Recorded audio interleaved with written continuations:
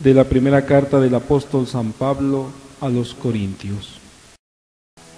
Hermanos, cuando alguno de ustedes tiene algo contra un hermano, ¿cómo se atreve a llevar el asunto ante los tribunales paganos y no ante los hermanos?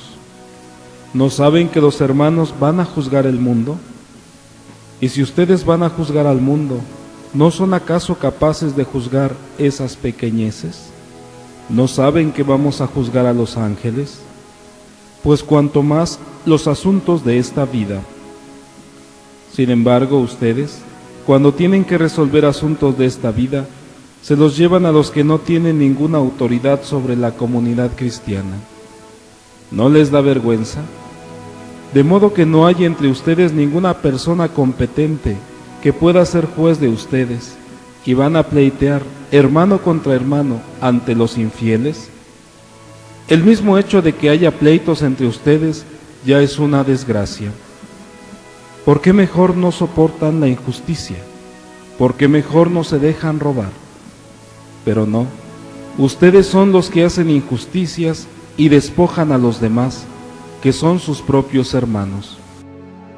¿Acaso no saben que los injustos no tendrán parte en el reino de Dios? No se engañen, ni los impuros, ni los idólatras, ni los adúlteros, ni los afeminados, ni los homosexuales, ni los ladrones, ni los avaros, ni los borrachos, ni los difamadores, ni los estafadores tendrán parte en el reino de Dios. Y eso eran algunos de ustedes, pero han sido lavados, consagrados y justificados en el nombre del Señor Jesucristo y por medio del Espíritu de nuestro Dios. El Señor ama a su pueblo. Cantad al Señor un cántico nuevo, resuene su alabanza en la asamblea de los fieles, que se alegre Israel por su Creador, los hijos de Sión por su Rey. El Señor ama a su pueblo. Alabad su nombre con danzas, cantadle con tambores y cítaras, porque el Señor ama a su pueblo y adorna con la victoria a los humildes. El Señor ama a su pueblo.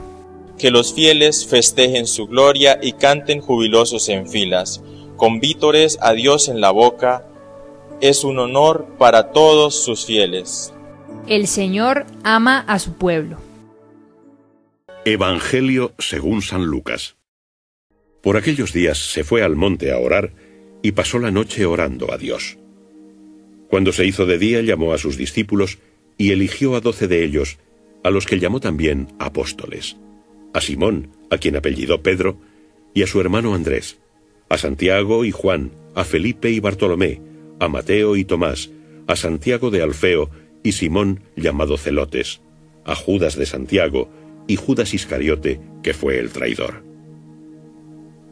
Bajando con ellos se detuvo en un lugar llano con un grupo numeroso de sus discípulos y mucha gente del pueblo, de toda Judea, de Jerusalén y del litoral de Tiro y Sidón, que vinieron para oírle y ser curados de sus enfermedades.